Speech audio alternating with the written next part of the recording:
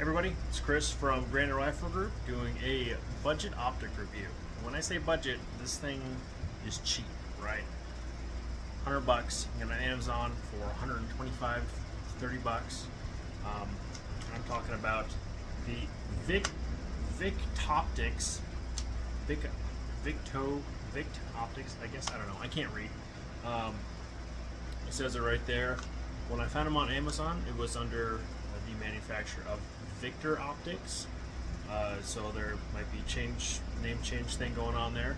Uh, but this is the S6 1 to 6 second focal plane LVPO, or uh, yeah, low power, low L LPVO, low power variable optic. Again, it's 1 to 6. Uh, it is illuminated. It has red and green elevation. It's got the wooden windage on this side. Comes with a um, sweet little throw lever. However, it's the wrong color. Um, I don't really care. I'm probably going to rattle kit it anyways. And um, I'm actually extremely impressed with it so far. I have not shot it yet. Um, by far the weakest link in the whole system is the rings. It does come with rings. They suck. They're they're crap. So what I'm most likely going to do, I'm going to dig around. I have a, a box of uh, old mounting solutions from you know the throughout the years. I'm gonna see if there's anything a little bit better in there uh, than what these things are, uh, because the scope itself is surprisingly good.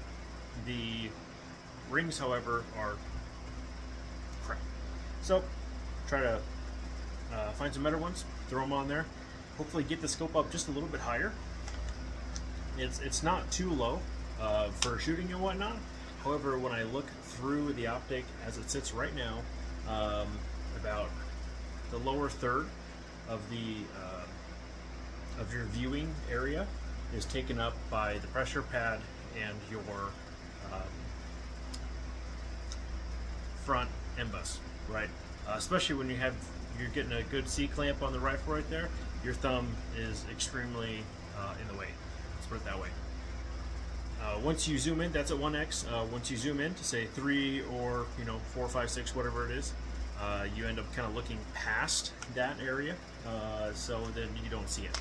So if you're going to leave this at say 3 or so, um, that wouldn't be an issue, but I'm going to try to pick it up higher because I like using, um, especially if I'm going to be in a building or something like that, or here at the house, I like having my uh, LPVOs uh, set at one power right out of the gate uh, and use it as a red dot until I need that magnification. That's just how I do it. Uh, so let's see if I can get some better mounting.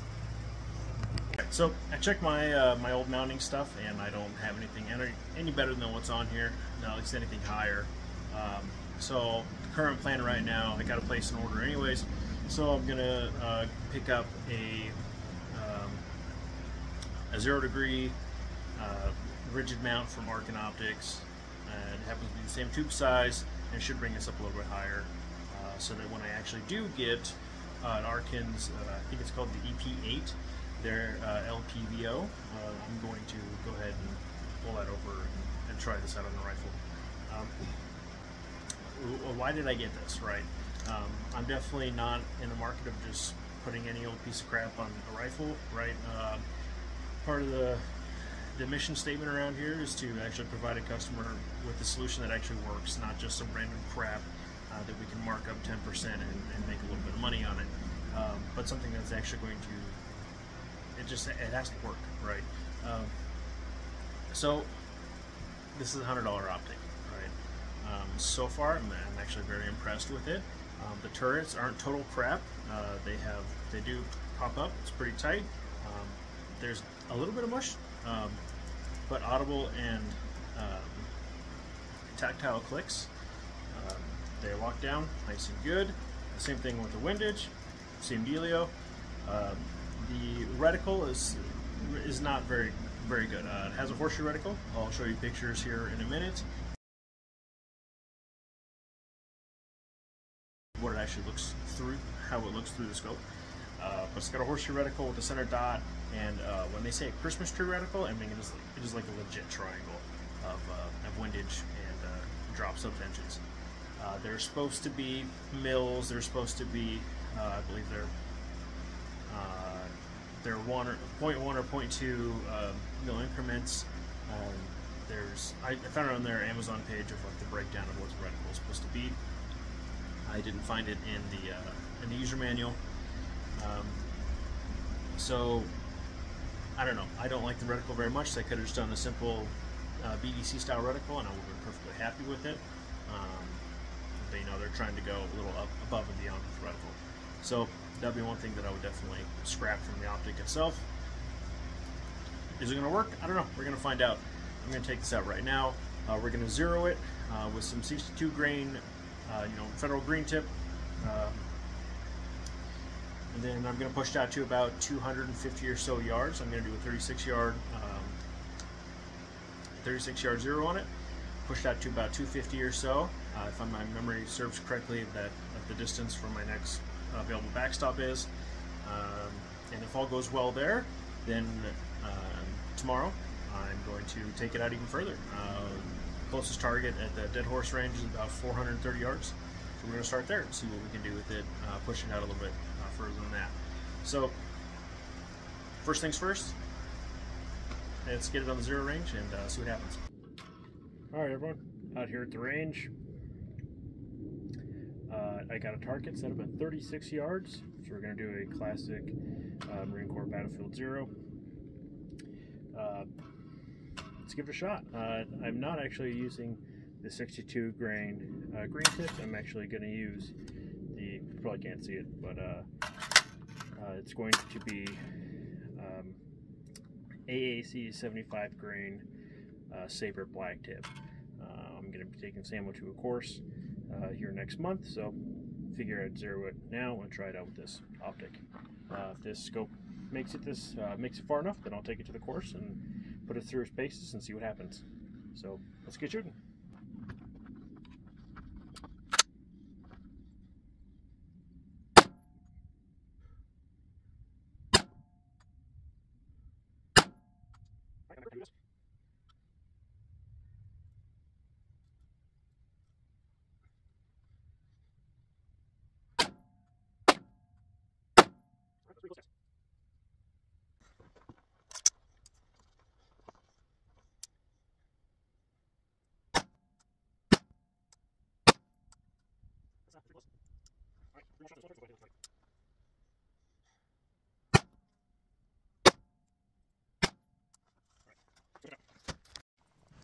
All right, so my first three shots were right down there. Had a little vertical stringing on it. I brought it up uh, six minutes of angle. So I had that second group right there. Then I brought it down to about uh, five and a quarter. And that was that group. So I brought it over here to the small target. And that was my uh, finish zero. Uh, obviously, this is 36 yards, so that's not, you know, anything crazy. Uh, but it's at least holding a zero, and the bullets are going where I want them to go. So, step one complete. Let's uh, set it out a distance. All right, so got the uh, steel set up. It's a full-size IPSC. Well, it's pretty close to full size. Um, at 217 yards, so not really far. Um, we're just going to see if we can hit it. We should definitely be able to hit it. It's not very far at all. Um, just going to kind of test the optic and make sure that I can make hits this distance. And uh, this all goes well, then tomorrow take it out to the further ranges and uh, see what happens out there. So right now I got eight rounds in the gun and uh, see what happens.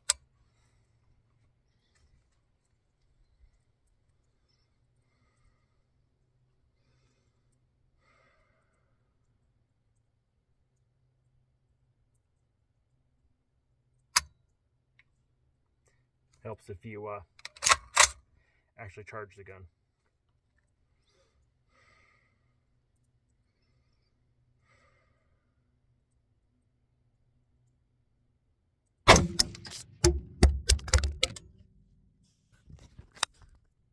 Oops. So I hit high on that one. Uh, looks like a foot and a half uh, up to the right. So take another shot, kind of confirm see if uh, that was me or if I'm hitting the exact same spot and make an adjustment.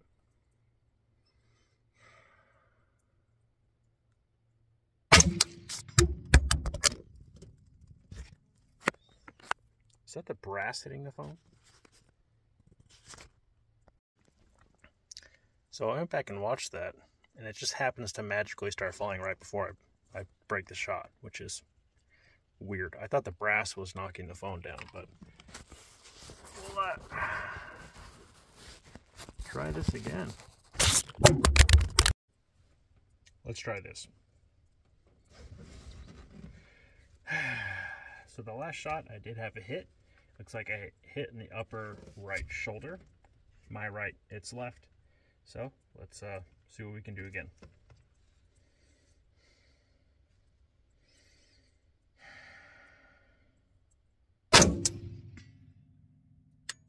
Okay, that was dead center, right about the upper thoracic cavity.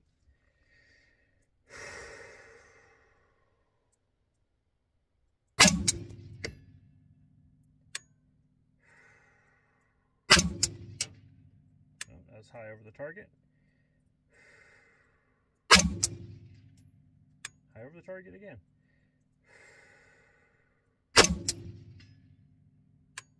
So I'm definitely favoring right on the target. So no,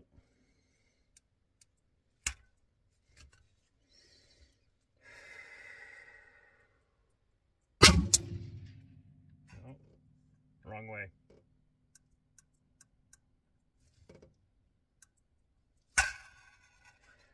All right, let's get some more ammo.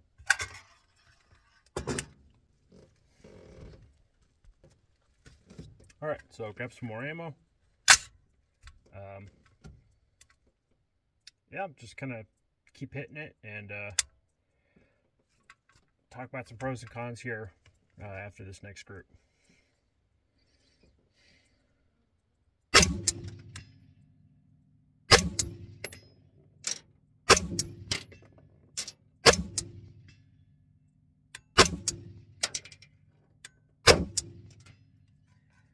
All right, so that little adjustment was apparently all I needed, and uh, let's talk about it.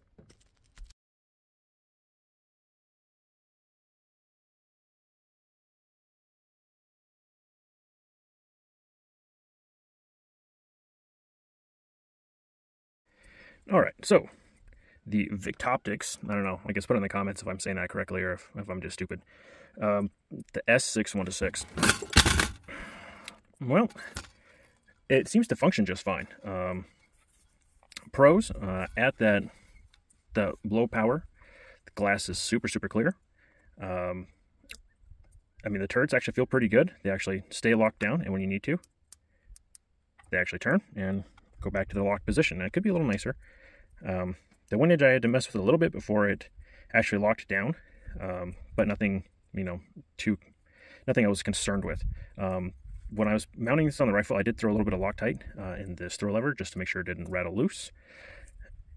Uh, I mean, all in all, for a hundred bucks, it is not bad. Uh, I really, I really can't complain too much. But uh, here's the complaints.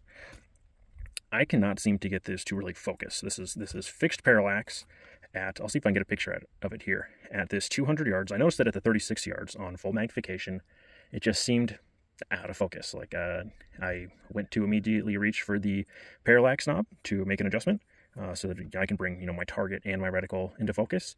And this doesn't have one; it's fixed parallax. Uh, so I thought, well, I don't know, maybe maybe just this closer yardage on on full magnification, it's just not going to be, you know, um, maybe it's just a little bit outside of that, uh, you know, parallax adjustment or that that fixed parallax range. So out here at the 200 yards, you know, 217, um, kind of the same thing. It really, it seems that once you hit that that sixth power, it really um, just doesn't get very clear. Now, what is very clear uh, to some people, you know, this might look like absolute garbage. To other people, this might look great. You know, according to my eyes in this lighting condition, which is it's getting a little dark, uh, you can kind of see here in the bed of the truck that it's you know not exactly bright out. Um, that that is definitely a con for me. Um, if I had paid over, you know, $300 for this thing, I would 100% send it back. Granted that I paid 100 bucks for it, mm, I don't know. I, I, think it would be, I think it, I think I'd let it slide. Um, now, could I identify things? Absolutely. Um, if there was an individual standing on that hillside, I could 100% see them. I could see what they were holding. I could, um, you know, if the text was large enough, I could read text on, on a shirt. Um, I could probably make out you know, a, uh, uh, just for argument's sake, I could make out like maybe a badge on somebody's ball cap or something like that. Uh, I, I, could still see, you know, just fine. Uh, would I like it to be more clear? Sure. Um, that's that's really it. That, that's really the only thing I have gripes about. Um, and again, the mounts. The mounts are very very cheap. Uh, so I think with replacing um, this mount with with a, a one piece, you know, mount probably from Arken Optics here, uh, I think it's really gonna kind of pick this this optic up and make it a little bit better. And could I live with the the focus on the high end? Um, yeah, I don't know. Probably for 100 bucks, I could probably do it. Uh, again, if I paid more money for this, then no, I wouldn't. Uh, but it's, I mean, this is this is the cheapest optic I've ever put on a rifle. So, uh, yeah, there it is. Let me know what you think.